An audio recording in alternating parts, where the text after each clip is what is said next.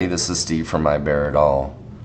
I thought I would share a tip today about using the dual fisheye plugin and when you run into issues with when it stacks it improperly.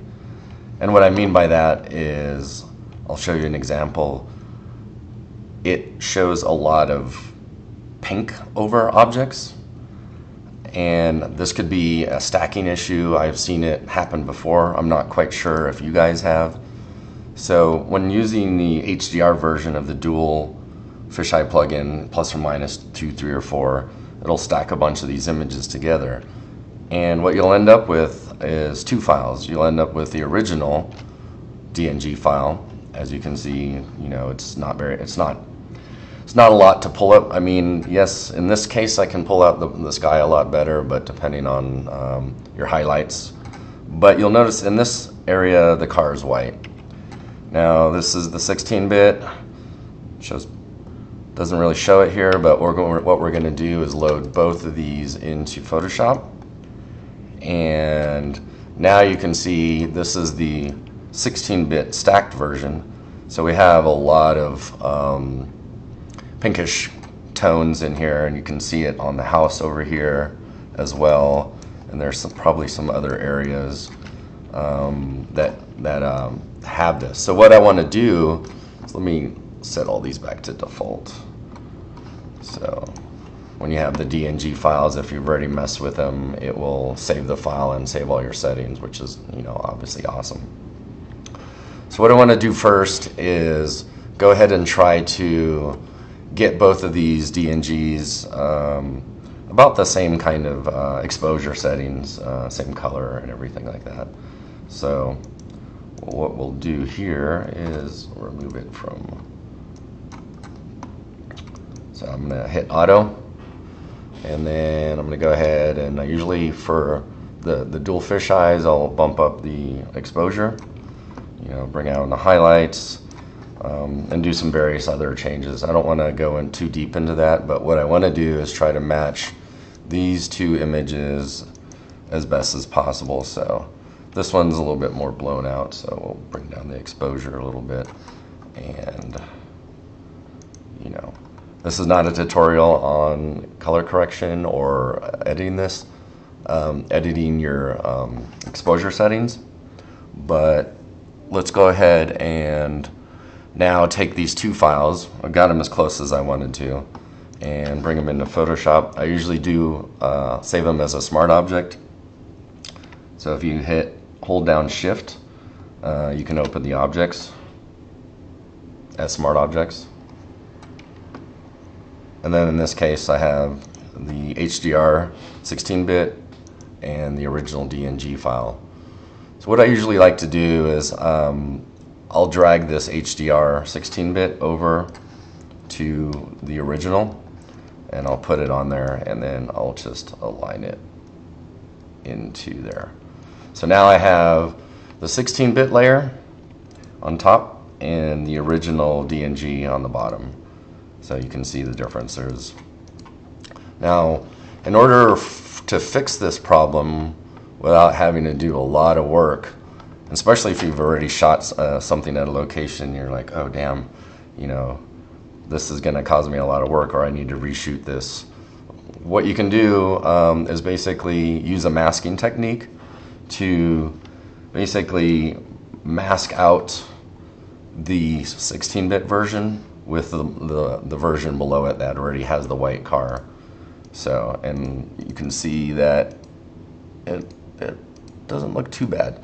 So what we'll do is um, basically make sure you have your 16-bit version on top. You go down here to the masking section, which then creates a little masking option. So with masking, if you're not familiar with it, um, black, using a brush to paint with black will show what's underneath it, show the layer underneath it. So that's what we want to do. And then white will basically just show the original layer. So what we'll do is uh, basically you can hit X on your keyboard to switch between this over here. So we want black and then B for brush. So we'll go ahead and then I use the bracket keys on my keyboard to um, size up my brush layer. Now I'm not going to do a super fat, um, you know, high detailed version of this. I just want to show you that if you start painting with the brush, you can see what's coming through from the other side. So now, basically what we do is now, I'll just brush size down. We're getting the car all white again, and then we're actually getting details back that have been removed on the stacking version. So a little bit up, here. So now we have this the car in our 16-bit version uh, fixed. And let's see if we can find something else in here. So, oh, the house. So let's go ahead and do the same thing. Paint the house a little bit. Again, this is just a quick version of this. So go ahead and do that over here as well. Okay, anything else? Oh, that's interesting. Look at this. There's a car. it's the stack version has uh, caused it to look uh, kind of funky, so let's bring that back. In. And then this one looks a little bit the same way. So so now we have basically where we're using the original DNG file and then on the 16-bit able to mask those out and fix some issues that we've seen. So what I do from here is I'll go ahead and then save it as um, a TIFF. Save as, let's see, example. I don't need the layers. And then what I do in my case is I use PT GUI to stitch. So got a 159 meg uh, megabyte TIFF file. Let's open it up in PT GUI. I'll go ahead and align images. That looks fine for you know just this demo purposes. I'll create the panorama. I also save it as a TIFF. You can also um, set it to 16-bit if you want. You can change a bunch of uh, options here. So let's just go ahead and create this panorama real quick.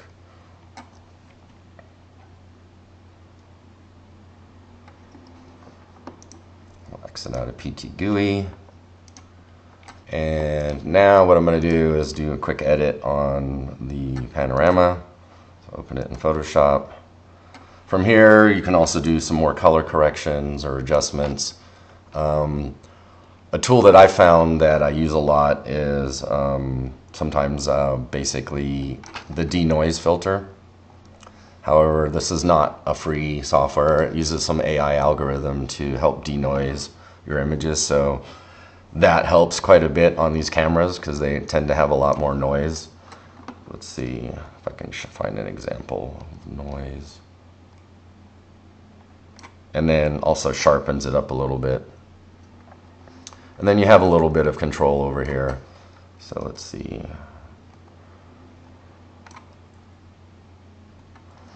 A little more sharpened, doesn't really have a lot of noise into it. And, you know, luckily the 16-bit merged uh, DNGs, you know, also reduce the noise. So I'll go ahead and save that. Let that process for a second. And then I'll go ahead, my last step will be just to remove the tripod, save it back out as a TIFF, and then publish it to whatever software that I, am using. For me, it's uh, 3D Vista. And I'll usually bring in TIFFs as the highest uh, resolution as possible. And it has the ability to create uh, multi-resolution um, panoramics for you, which is a good option. So this is kind of my workflow for the most part you know, I think it was important to show the ability to use masking technique to remove some issues from your uh, your stack DNG if that was an issue, and then basically that'll help you out and you can go from there. So let's see a little tripod there real quick.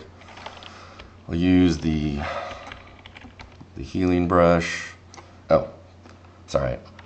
I should mention there's a sometimes depending on your computer, the resolution of your panoramic what you can do is instead of editing in this mode, um, you can create a layer. So I hit, you know, I select the whole layer, I copy it and paste it. So now I have the layer on top. So now when I'm doing any brush work, it's super fast versus, you know, dealing with the actual sphere. And it just makes work faster. Um, you know, I could go ahead and fix this. I'll use the little clone tool here real quick.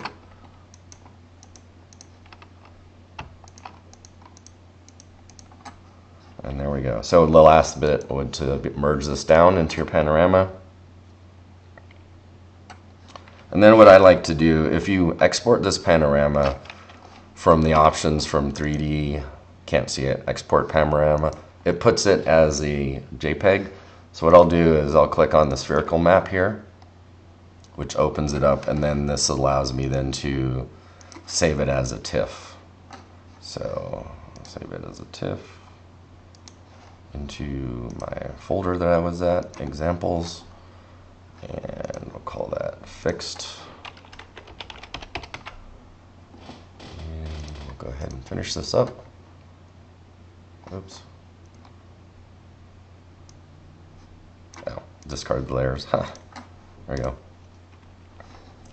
And if we look up here, oops, hit this. We have our fixed version, which is 81 megs. So basically we went from the 16-bit DNG, we used the original DNG uh, to fix some issues using masking, and then we outputted them both as TIFFs, used PTGUI, quick alignment, output that as TIFF, and that's basically my workflow. And for the most part, I'll run my stuff through Topaz Denoise AI. It's not free, it's not required, but it does help out. I've seen some pretty noisy skies before, which is definitely sharpened up. So if you like this video or if you've learned something or have some questions, leave some leave some comments below and uh, I'll try to answer them and I'll try to do some more videos in the future. This one's just very quick. Kind of thought I would share this with the community and hopefully you've learned something. Thank you very much.